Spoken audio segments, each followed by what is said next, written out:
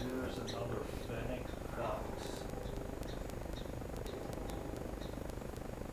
Oh, he's so cute with big ears. I want to take it home.